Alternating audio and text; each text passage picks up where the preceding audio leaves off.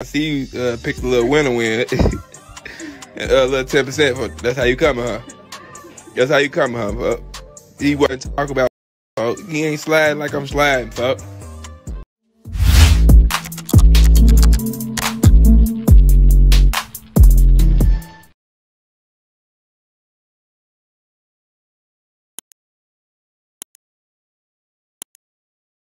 Hey, what's up, y'all? Y'all know my slogan.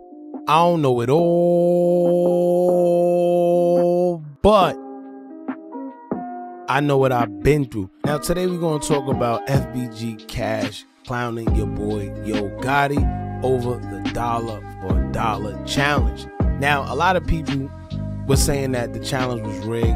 Um, your boy Yo Gotti put out a challenge pretty much to promote his album coming out, but the person he picked, a lot of people aren't too fond of the person. They saying that it was way better people that did a better version of the challenge that Yo Gotti didn't pick. And a lot of people were feeling that he pretty much rigged it. He already knew who he had in mind, he wanted to pick.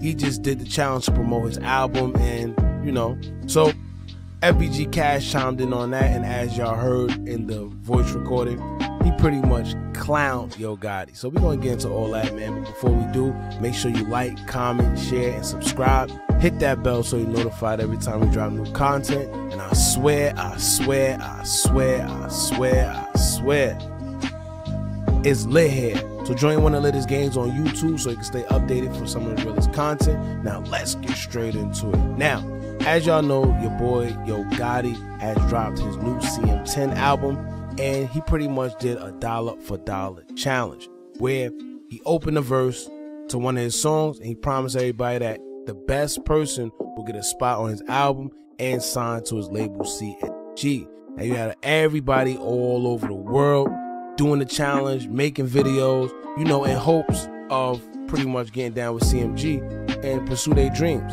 Now, I ain't gonna lie, it was a couple good, very, very good people that did the challenge. And I feel that a couple people should have won. But this is see, this is the thing, man, with challenges like this. I don't know how they how they rate it. I don't know how they judge it because it's hard. You got people all over the world sending videos. I'm pretty sure he wasn't able to even watch all the videos. However, I guess this is why people are feeling that it was rigged because the person he picked, which is his name is I am 10%, a lot of people felt that he didn't do enough. So now you have it to where Yo Gotti put out his response. He announced the winner and he said this. He said, quote, congrats little homie at I am 10%. Welcome to Big League. Put a couple trophy emojis, you know, the hand sign emoji. Hashtag Mafia. Salute to everybody who killed it. Fire emoji. This ish ain't over. Stay tuned. Now, I don't know if maybe he's saying that it's not over, as in he's going to do another challenge or he's willing to sign more artists. However, a lot of people, you know, expressed their concerns with who he picked as the winner.